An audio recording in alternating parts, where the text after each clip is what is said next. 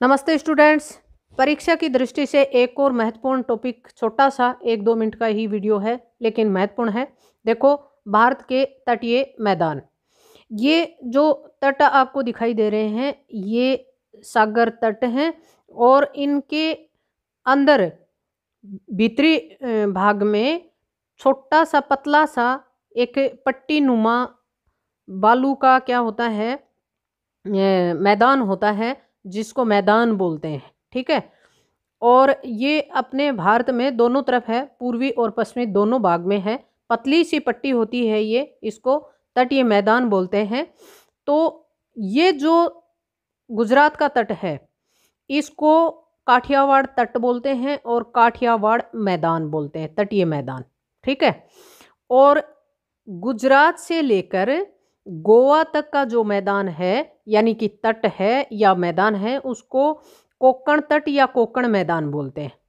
और गोवा से लेकर मैंगलोर तक, कर्नाटक का ये शहर है मैंगलोर, यहाँ तक का जो मैदान है, इसको कन्नड़ तट तक कहते हैं, कन्नड़ तट।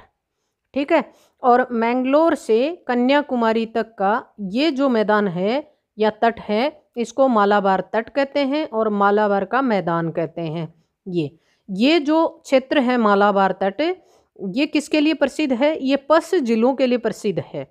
यानी कि लेगुन जिलों के लिए प्रसिद्ध है। सागर का खारा जल किसी लेगुन उसके पुलिन या किसी रुकावट की वजह से स्थलीय भाग में भर जाता है और वहाँ एक झील का रूप ले लेता है इस प्रकार से। और उस झील को क्या कहते हैं? लेगुन कहते हैं। पस झील भी कहते हैं।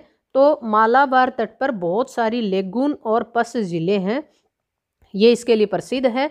और कन्याकुमारी से लेकर संपूर्ण तमिलनाडु तट, ये जो है, ये कोरोमंडल तट के नाम से जाना जाता है। कुछ भाग आंध्र प्रदेश का भी आता है, लेकिन मुख्य रूप से ये तमिलनाडु का तट माना जाता है। और यहाँ पर सर्दियों में लौटते हुए मानसून से वर्षा होती है।